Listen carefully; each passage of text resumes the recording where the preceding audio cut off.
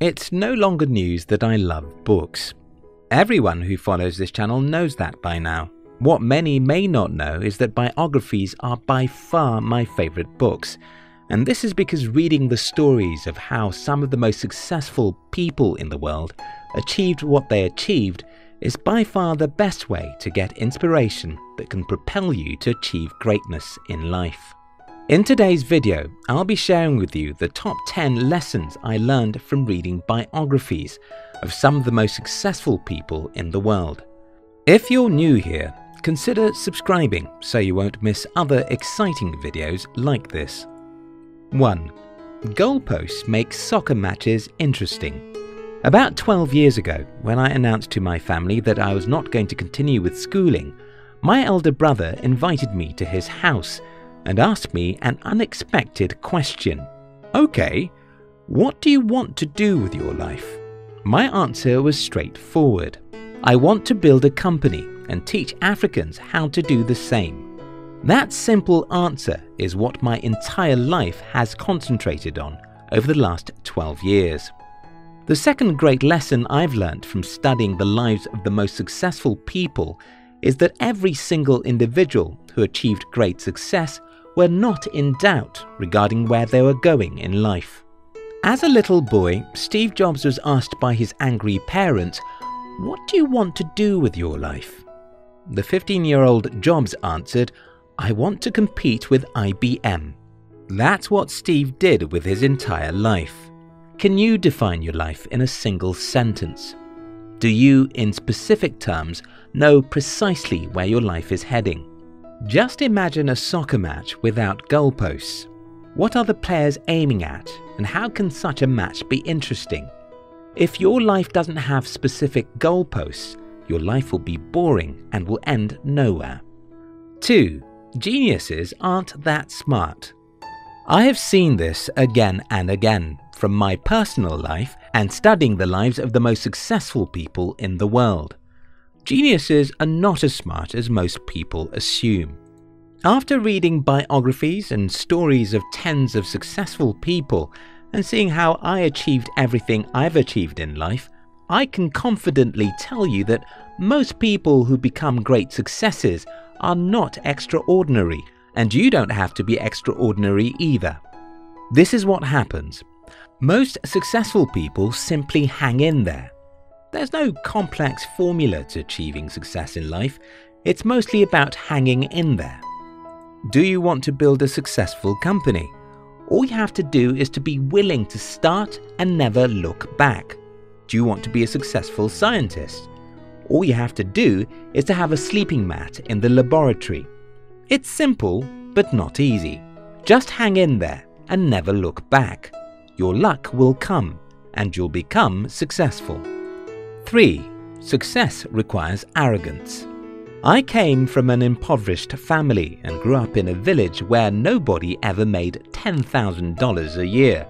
So when I told people I wanted to build a successful company and make millions, they believed that I was arrogant, and to be honest with you, I was.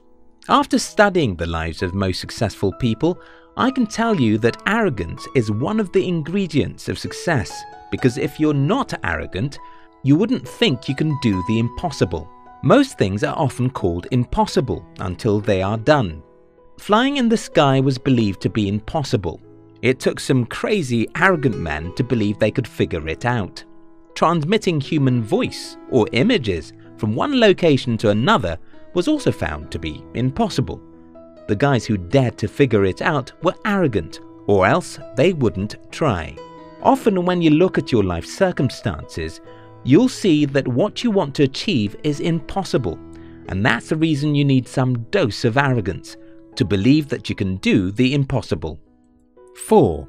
Life starts when you know what you can die for. Martin Luther King Jr. was a coward boy, or let's call him a shy boy, to give him some honour. He didn't like to be what he ended up becoming. Many times he rejected the possibility of him leading the civil rights movement until the day he became convinced he was born for the purpose of that movement.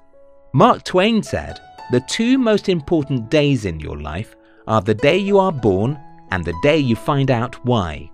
Great people in the past, people like Napoleon Bonaparte, often made themselves believe they were descendants of gods or something like that. This belief made them arrogant and gave them faith in themselves. You don't have to go to such extremes, but you have to figure out your reason for existence. Because if you don't, your life would be boring. After Martin Luther King Jr. was convinced that his life's purpose was to fight for African American rights, death or difficulties no longer had the power to stop him. Similar things happen to most people who succeed in life. They just get to a point where their goal seems more important than their lives. 5. Seek to know what no one does. Charles T. Munger said, In my whole life, I have known no wise people who didn't read all the time. None. Zero. Munger is a billionaire entrepreneur. And if you don't take his words seriously, you won't take mine. So let me repeat what he said.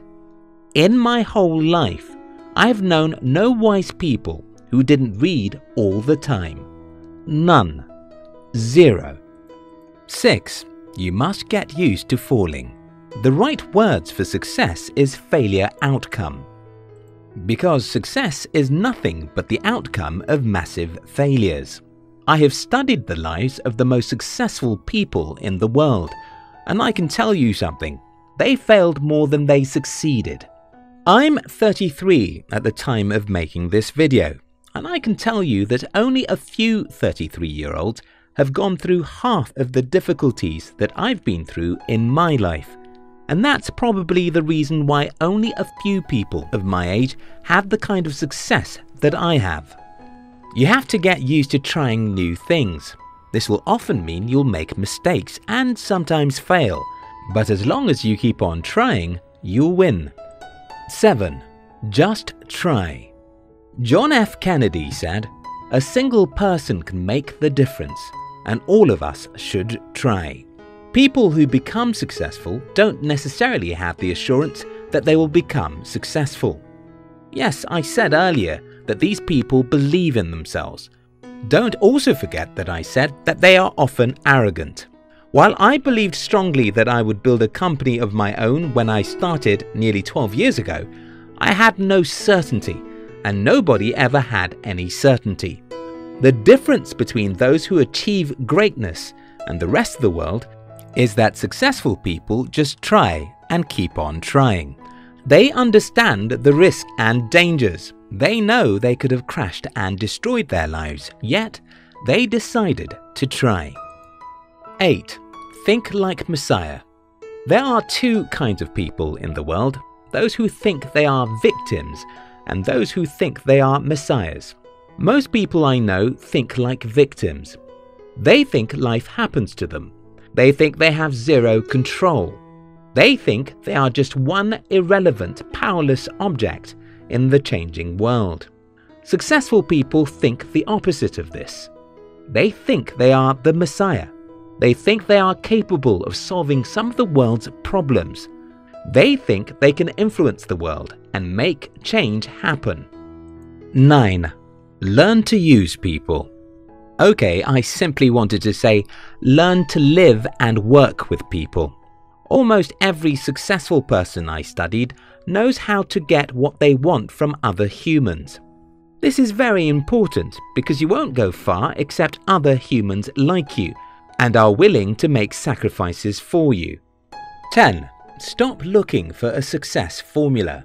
The other day I talked about Albert Einstein and Elon Musk, and right there in the comment section, someone pointed out a significant mindset of Einstein, which is directly opposite of what Musk believes. Well, there's no specific formula for greatness, there are only lessons, and that's what this video is all about. If you compare the lives of Bill Gates to that of Steve Jobs, you'll see some extreme opposites, even though they are both successful entrepreneurs. If you compare the lives of Winston Churchill to that of Abraham Lincoln, you'll notice some contradictions, even though they were both successful politicians. There is more than one road that leads to the market, and knowing this will make you choose what you learn from individuals. These are the summary of what I've shared with you so far. Goalposts are what make a soccer match interesting. If your life doesn't have specific goals, it will be boring. Geniuses aren't that smart. They just keep on trying. Success requires some arrogance. You have to believe that you can do the impossible. Life starts when you know what you can die for. You must know why you're living to be able to remain dedicated to your life's goals. Get used to failing. It's inevitable. Seek to know what no one does. Learn always. Just try, even if you fail. Think like a messiah. Don't think like a victim. Learn to use people. You must know how to make other people want to help you. Stop looking for a specific formula to success. Just learn. We love you.